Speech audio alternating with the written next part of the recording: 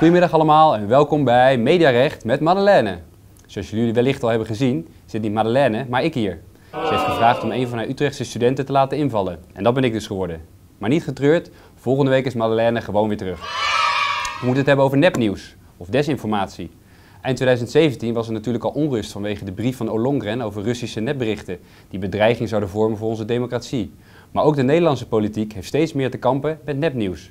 Zo kwam Jesse Klaver in het nieuws omdat hij niet zijn echte naam zou gebruiken. Hij zou namelijk Jasser Verras heten. Maar dat is gewoon niet waar. Nepnieuws dus. En wat dacht je van deze tweet? Hier is de foto van Alexander Pechtold, toen nog van D66, gefotoshopt door Geert Wilders van de PVV. Hoewel het hier misschien heel dik oplicht, is ook dit gewoon nepnieuws. Is niet alleen zo dat Nederlandse politici zelf nepnieuws maken, zoals bij de tweet van Wilders. Ook worden vaak nepnieuwsberichten door Nederlandse politici geretweet. Thierry Baudet van Forum van Democratie bijvoorbeeld, retweeten een neppeiling van iemand. Door zo'n ogenschijnlijk simpele retweet wordt het nepbericht ineens gedeeld met een enorm groot publiek. En dit gebeurt vaker.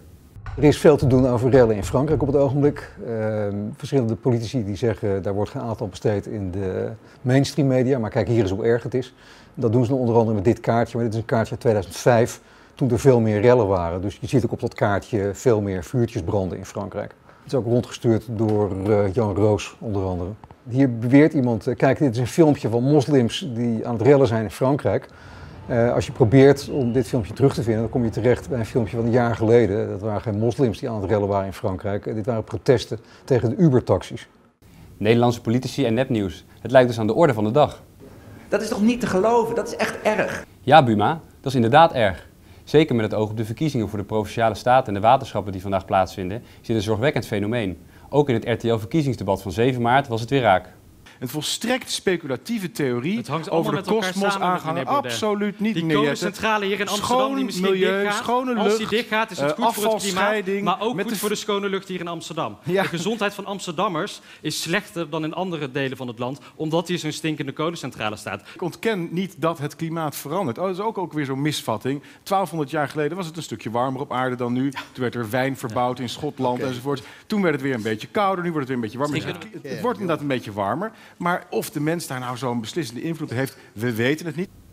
Het onderzoek van het wetenschappelijke VN-klimaatpanel IPCC blijkt namelijk dat de aarde sinds de industriële revolutie 1 graad is opgewarmd door de invloed van de mens. De stelling van Baudet is gewoon niet waar. Nepnieuws dus. Rob Jetten van D66 kwam overigens nog even tussendoor met de opmerking dat de gezondheid van de Amsterdamse bevolking slechter is dan de gezondheid van de rest van Nederland door de nabijheid van de Hemweg kolencentrale. Ook dit is niet waar. De Amsterdamse gemeente liet door de GGD namelijk een lokaal onderzoek doen en wat bleek, geen enkel Amsterdams sterfgeval kon worden gelinkt aan de kolencentrale. Gelet op de rol die politici spelen in het publieke debat en gelet op hun taak als volksvertegenwoordigers, vinden wij deze oprukkende trend van nepnieuws onder Nederlandse politici, om toch weer Buma's woorden te gebruiken, echt erg. Daarom hebben wij iets bedacht. Waarheid als een koelkeurmerk. Online factcheckers die dagelijks het internet afstruinen naar nepnieuws op online sociale media, kunnen berichten van Nederlandse politici raten. Heeft een tweet meerdere waarheid als een koelkeurmerken, dan is de tweet waar. Heeft de stelling echter maar één of helemaal geen waarheid als een koelkeurmerk, dan kun je grote vraagtekens zetten bij het waarheidsgehalte van het bericht. Omdat er meerdere factcheckers kunnen raten, heeft niet één partij de macht.